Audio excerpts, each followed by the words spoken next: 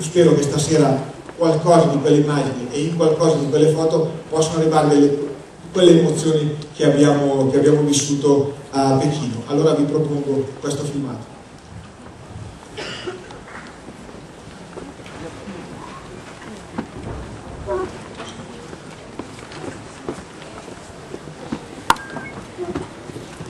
Forse non sai